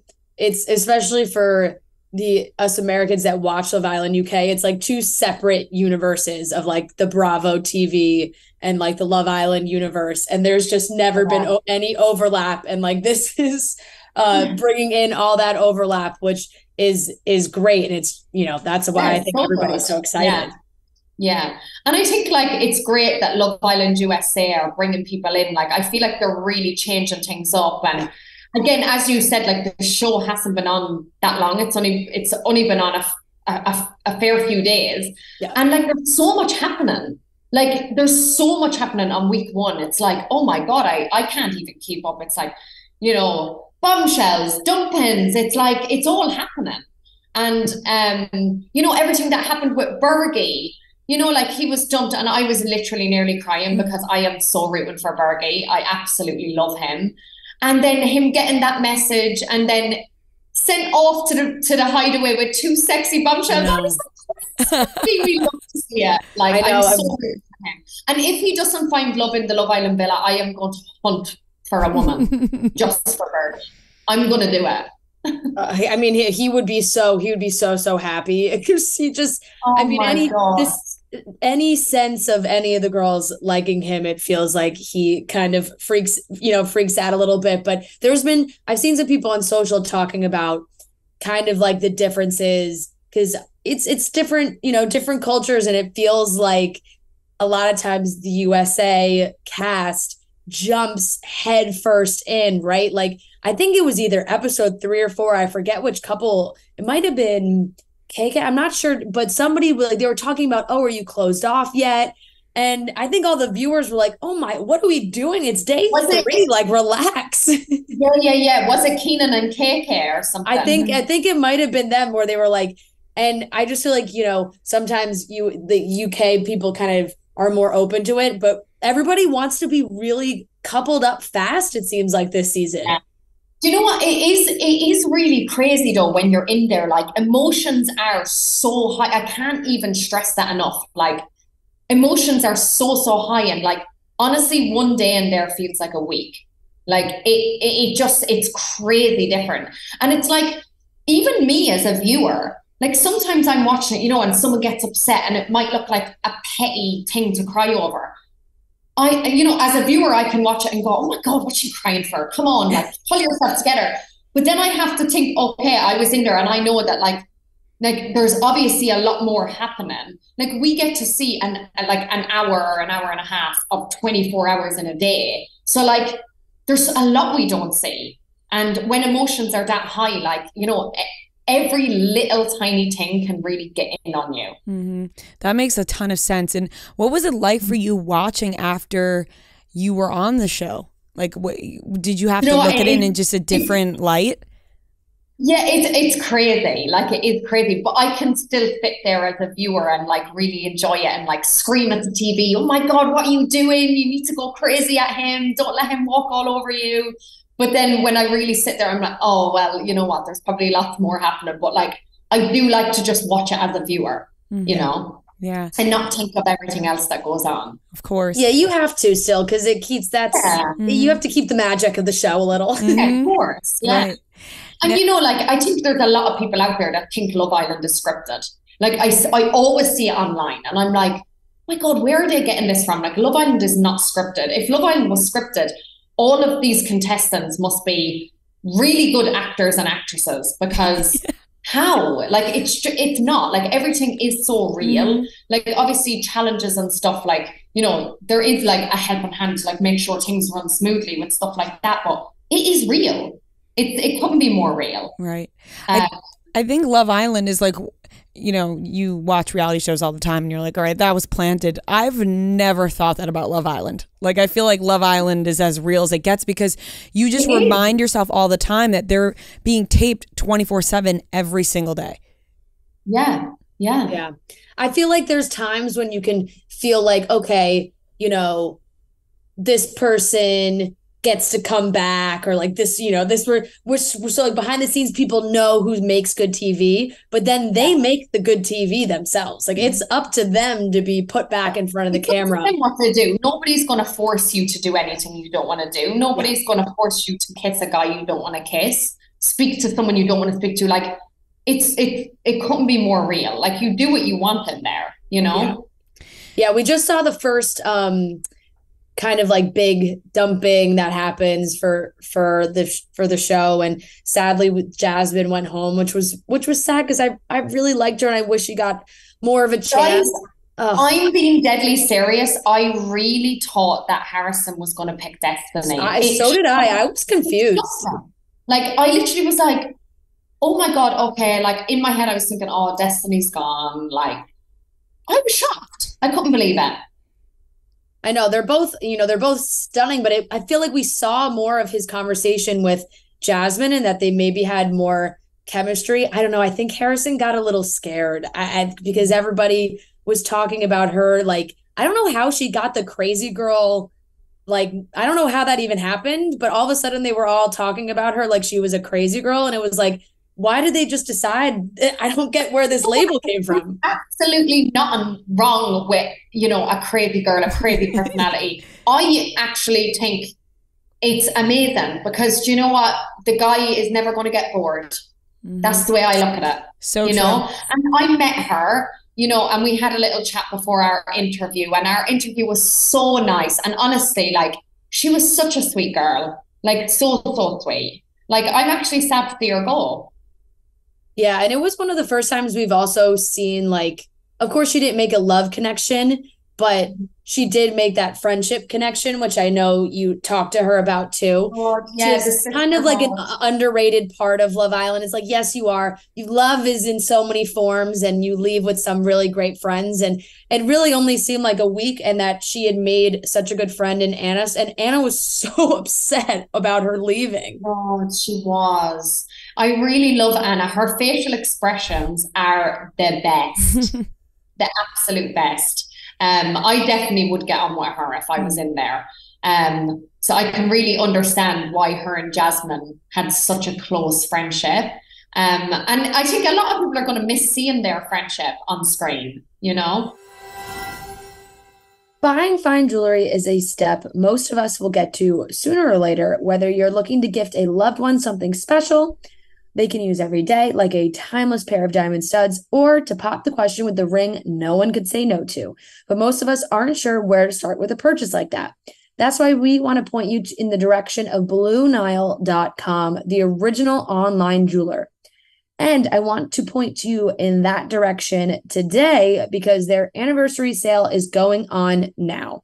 At BlueNile.com, you can find the perfect pair of earrings, necklaces, jewel, so much great jewelry, rings, the, your perfect piece of jewelry for life special moments, or even create that custom engagement ring of her dreams. Their simple online tools let you choose the diamond shape, size, and clarity, as well as the setting style. Blue Nile also offers in depth educational materials and experts on hand 24 7 via phone or chat. Thanks to Blue Nile's diamond price guarantee, you can make sure you're getting the best deal for your diamond. Ria and I have earrings we love. I have little, di- you know, diamond studs that are perfect, classic, timeless. You can wear them all the time. Um, Ria's got a pair of diamond hoops that are beautiful. They're great, timeless, timeless pieces of jewelry. So right now you can save up to 40% on fine jewelry and 15% on engagement ring settings when you shop the Blue Nile anniversary sale at Blue Nile, N-I-L-E dot com. That's BlueNile.com for up to 40% off during the Blue Nile anniversary sale. BlueNile.com. What's the female friendship like when you get off the show, like with the people that you were on the show with? H- how do you kind of maintain those friendships outside of Love Island? You know, I feel like you you you blossom even more when you come out because you get to do the things, you know, like going out for dinners and it it just it's amazing. Like it's one of the best things for me, like coming out with a real, true, genuine friendship. Like that's all I could have asked for, you know.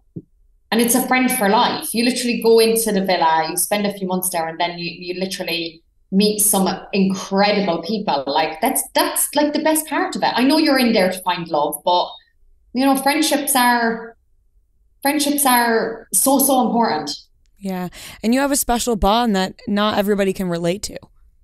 Yeah, exactly. Because, you know, you experience something so intense together, you know? Mm-hmm. Now, Yeah. bringing you back to your season of Love Island a little bit, um, what does it feel like, right, when you get to the end and everyone's coupled up and it gets more serious and, you know, you do the vows and you do the whole thing? Is there sort of a pressure when the show ends to stay in that couple? Because I feel like as a viewer, you know, people get so attached to these couples. But then you have to remember that they were in a villa, separated from the world, and then they're thrown into real life. And of course, we just saw Molly-Mae and Tommy. They're engaged. They have a beautiful baby. It's such a beautiful love story. And then you see the couples that break up within two weeks. What What's it like when you get out of the villa and you're like, all right, now what do we do? I feel like there's always this this misconception, like, you know, people think, oh my God, they have to stay together. They're just staying together because blah, blah, blah. Like honestly, when you come out of the villa and you, like you're you're in an enclosed space with these people for X amount of months, whatever. When you come out, it is so different. Like, and you know, there is relationships, there is people in happy couples, like from Love Island, Mhm. but like at the end of the day, like not everyone's gonna click and be compatible. When you get out to the real world, it, it is harder. Like, I know for me anyway, I was a bit like when I came out, I was like, oh, like this actually isn't something that I would go for if I wasn't in Love Island. Like, and you, you come to a bit of a realization. Mhm. And I mean, even for me, like the guy that I left with, I, I even broke up with him on a phone call because I was just like, this just isn't it. like I didn't even I didn't even do it to his face. I was just like, yeah, no, not for me. And you know what? I didn't have this like, oh my God, what are what's everyone going to say about it? What's everyone's opinions? Because I mean, lucky for me, I don't really care what people think. So if people had a problem with it, I mean, it's irrelevant Mhm. because I need to do what makes me happy. And I think every single person that comes out of Love Island needs to think the same. Like, don't think, oh my God, like if I break, if we break up this soon, like, is everyone going to have an opinion on it? Because, you know, people do get very invested in your relationship because they've been watching you together for, you know, X amount of weeks. But it is very different when you come out. It's, it is, it's very, very different. Yeah, I think you have the best attitude about it because I think you're right. You have to do what makes you happy because at the end of the day, if you stay in a couple, whether it's Love Island, real life, whatever, where you're not happy, you're just going to be miserable. You can't you can't let all eh, eh, they're going to be upset for what? A minute when they scroll past on Instagram and see the news. And then they're it's, not their life. small. Yeah, it's Yeah. not their life. They don't have to live with that person. So they're going to forget about it eventually. Yeah. And you know what, as well, when you come out, you know, you're you're so busy as well. And you know, I feel like if you really want to make it work, you'll make it work with that right person, you know, if you want to. But then if like work kind of takes over and you know, you kind of don't make that time for one another, well, it's clearly not really meant to be anyway. So what's the point in wasting your time and my time? Let's just move along so we can actually find the right person. Yeah. Did you have any um, idea that the Molly, Molly-Mae and Tommy engagement was coming, or were you as surprised as the rest of us when they posted their big video? Um, so I got told before she posted, obviously.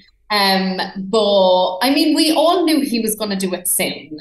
I mean, it was only like a few weeks ago when I was on the phone to them and I was like, Tommy, you need to propose. Where's this ring? And I was just like ranting down the phone at him. Um, and now it's happened. And honestly, he smashed it out of the park. Like it looked just so incredible. She just looked so happy. I'm so happy for them. Honestly, they are a match made in, ha- in heaven. Like he's literally the female version of him and vice versa. Like they're like the same person. Um, and yeah, I'm just I'm just so fucking happy for them. Yeah, I love it.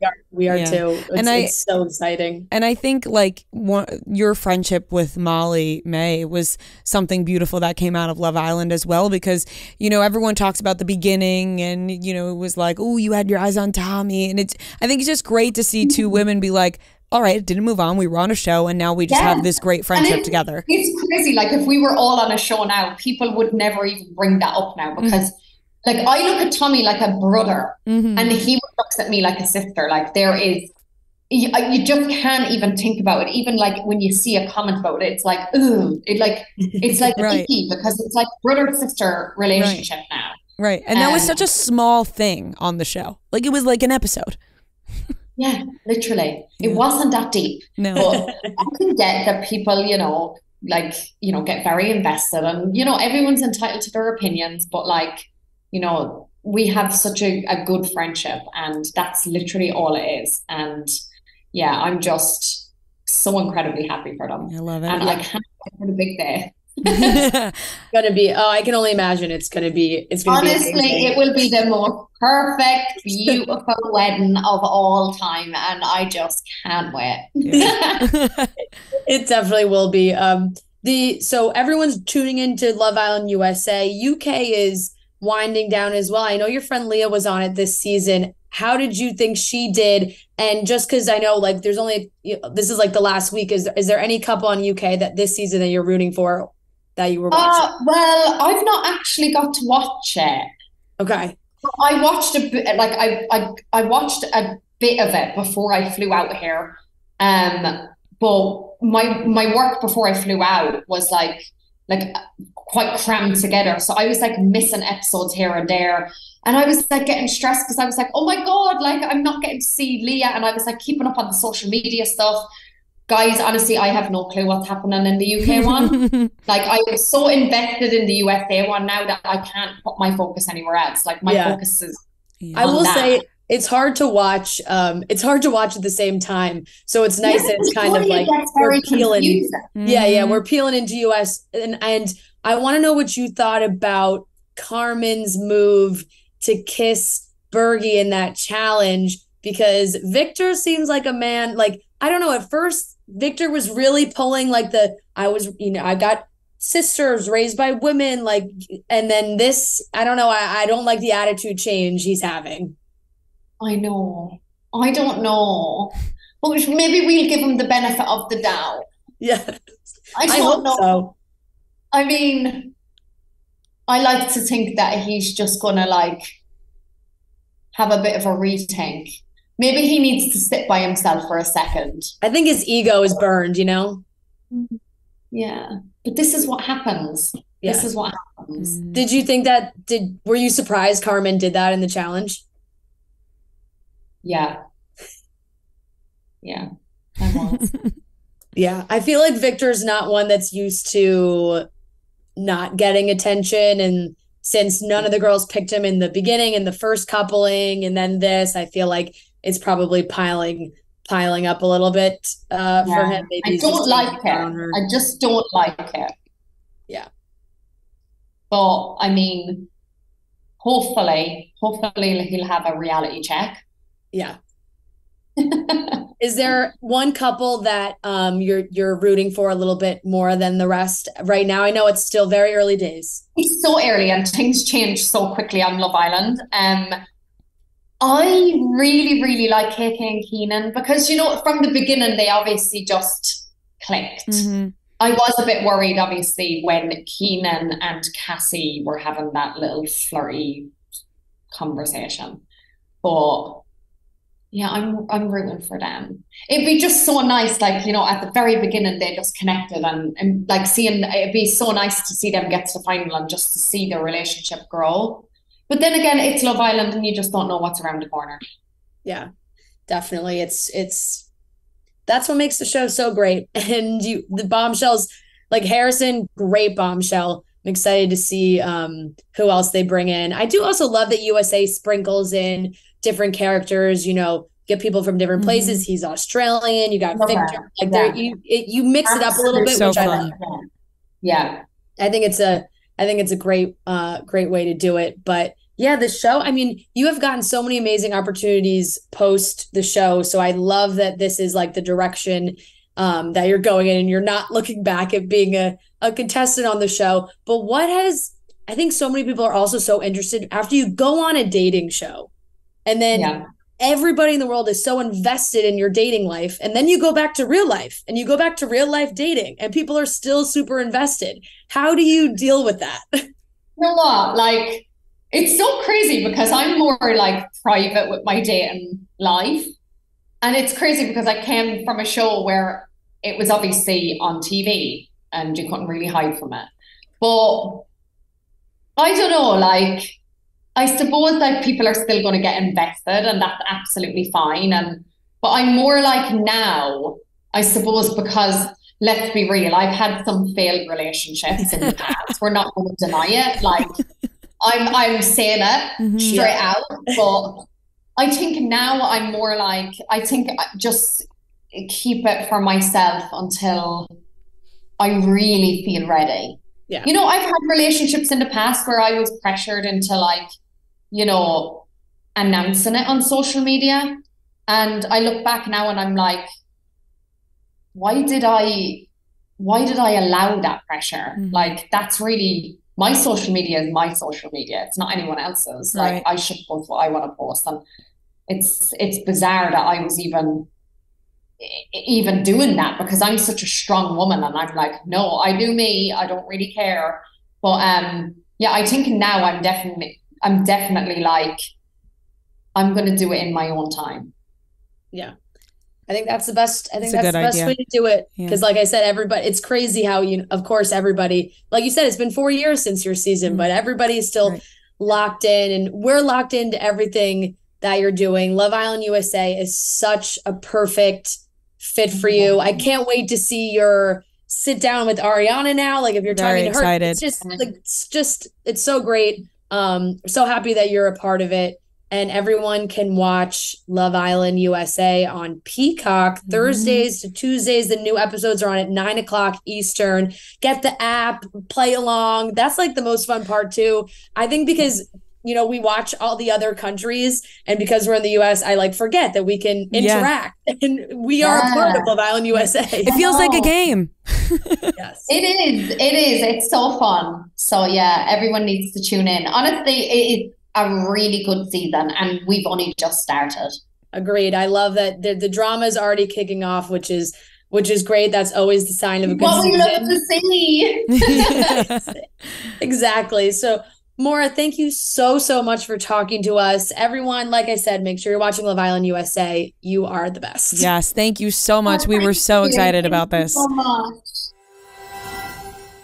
All right, that wraps up today's episode of Chicks in the Office. Thank you guys so much for listening. Thank you for subscribing so much. We love you guys. Keep subscribing. We want to bleach Noah's hair blonde so, so bad. So make sure you do that. We love you guys, and we will talk to you on Friday.